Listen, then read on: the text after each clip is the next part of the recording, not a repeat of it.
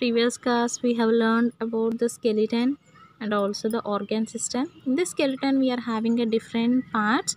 So one by one we can know them. The first one is the skull.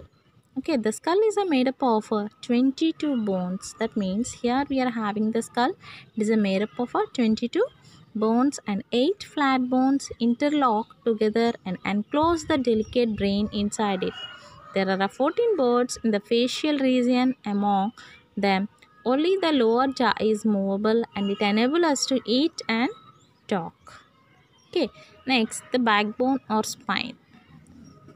The skull is attached to the backbone which forms the main axis of the skeleton. So here it is acting as a, a main backbone that is attached to the skull okay so it is made up of a 33 small bones called vertebrae and which form a strong column called vertebral column. The vertebral column protects the delicate spinal cord. Okay so here the spinal cord is protected by the vertebral column. Next rib cage. That means this is a rib cage. There are 12 pairs of bow shaped ribs which form a cage and enclose the heart and the lungs. These ribs are delicate covered bones which are joined to the backbone and the breastbone. Okay, that is a breastbone.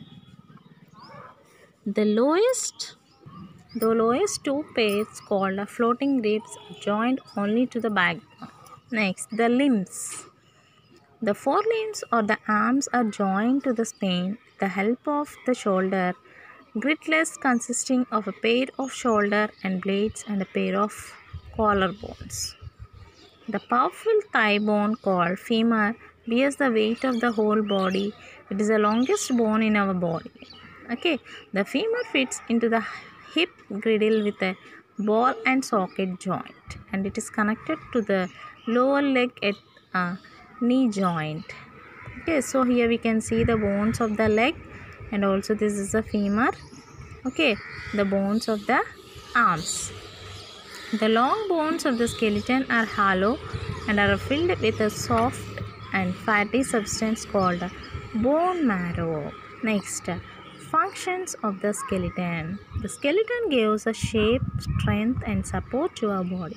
So without the skeleton we can't do anything they also protect our internal organs. The skull covers the delicate brain and the eyeballs rest inside the bony eye sockets. And the backbone protects the spinal cord and the ribcage protects the lungs and the heart. The urinary bladders lie inside the hip girdles and muscles are attached to the bones and make a movement possible. Here, so the skull is covered and also the backbones are protected through the spinal cord and the rib cage of the lungs and the heart and the urinary bladder is a, uh, is a lies in the hip girdles and in the middle of the some bones there is a soft material called a bone marrow.